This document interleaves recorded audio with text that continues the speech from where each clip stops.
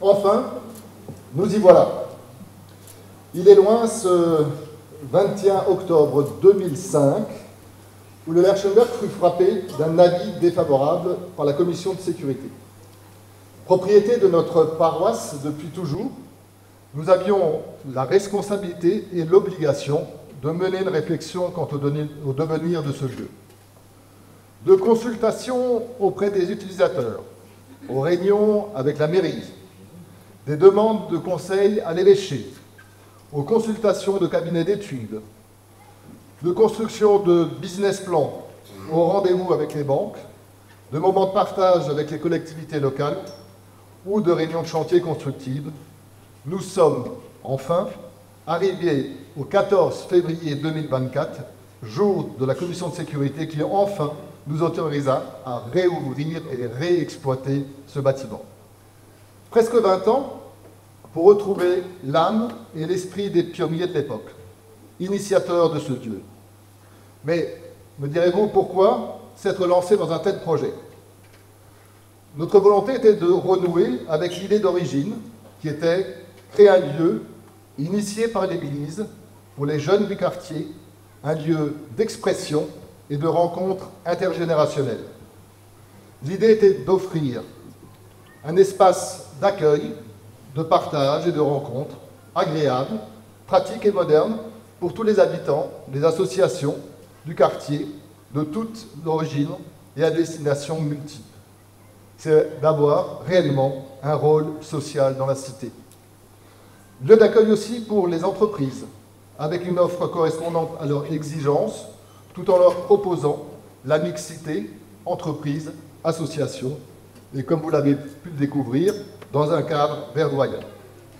Nous poursuivions trois objectifs. Accueillir les associations, les particuliers, les entreprises, séparément ou simultanément. Rendre le fonctionnement autonome et être un lieu éco-responsable.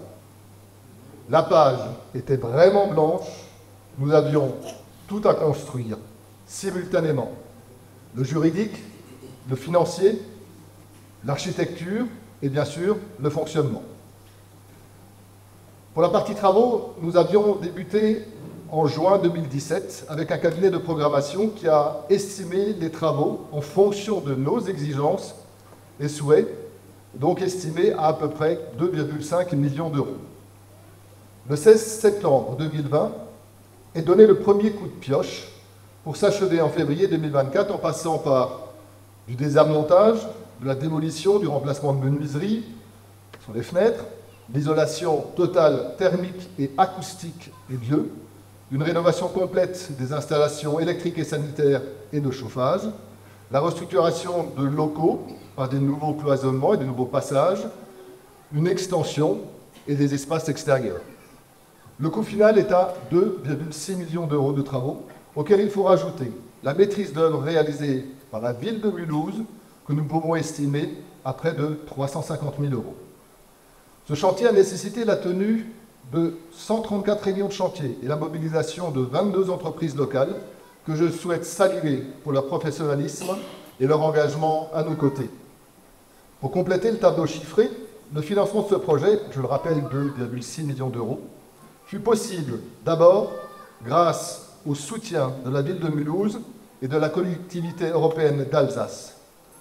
La CEA, à elle seule, a financé plus de 607 000 euros. Les fonds de la paroisse, les fonds propres de la paroisse et les emprunts contractés par la fabrique propriétaire et l'association Le Lerche, l'exploitant, ont permis de boucler le financement. Mais au-delà de ces aspects chiffrés, je souhaite exprimer en ce jour toute ma gratitude et reconnaissance aux hommes et aux femmes qui ont permis, à un moment ou à un autre, la mise en route et la réalisation de ce projet. Je souhaite tout d'abord rendre hommage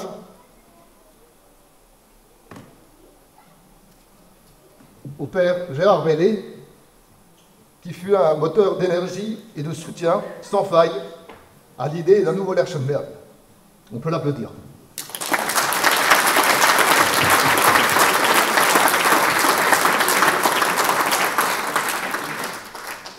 Ensuite, permettez-moi d'exprimer une kyrielle de merci. Merci au père Jean-Claude Klotz, qui fut motivé et engagé dans la création d'une maison pour toute la communauté.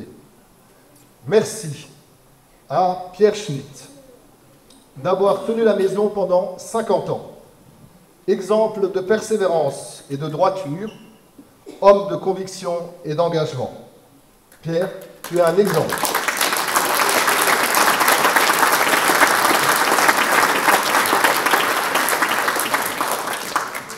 Je souhaite également saluer Francis Hyde, qui, en tant qu'architecte, élabora les premières pistes de rénovation. Merci aux paroissiens, aux associations de leur soutien et leur patience, à l'équipe projet que nous avons constituée. Je tenais à remercier particulièrement euh, Jacques Riegenbach, je ne sais pas où il est, voilà, pour son aide, pour son aide au quotidien et le partage de ses connaissances précieuses en architecture. À Jean-Dominique Ruman, fidèle, défenseur de Zornac et conseil en gestion et organisation juridique. À François Muller, que vous avez vu tout à l'heure, président de l'association Le Lerche, partant d'une page blanche, c'est vrai François, dans le brouillard, et puis maintenant avec une montagne de dettes.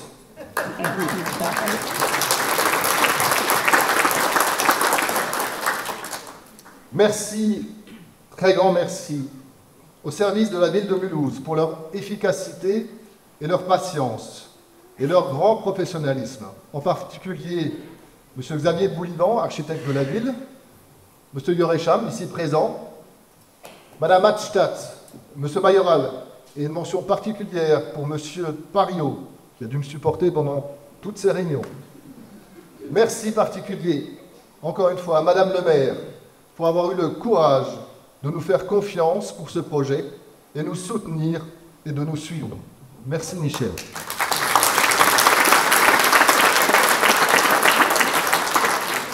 Merci à la collectivité européenne d'Alsace, en particulier M. Marc Monk, ici présent, vice-président de la CEA, qui a cru en notre projet, qui est venu visiter avec euh, Michel Luce le chantier et pour voir de visu comment ça se passait. Merci Marc de votre présence. Merci aux conseillers d'Alsace de notre canton, Catherine Rapp et Alain Couchot, sans qui rien n'aurait été possible et qui ont soutenu de bout en bout le projet et sa mise en œuvre Merci à vous.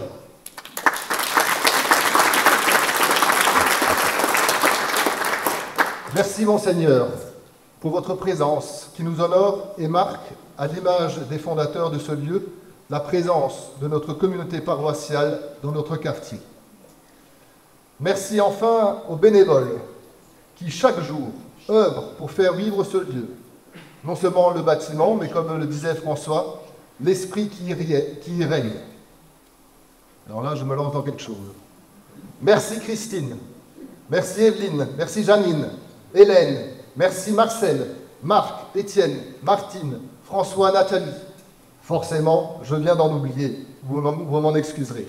Pour les moments avec vous partagés. Merci également à Jérémy qui a la lourde tâche de faire vivre le lieu l'animation et les manifestations qui ont lieu dans ce bâtiment.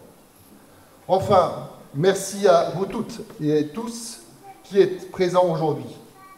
Que cette, que cette foule d'un jour soit la foule de toujours au service de l'Erchenberg. Merci.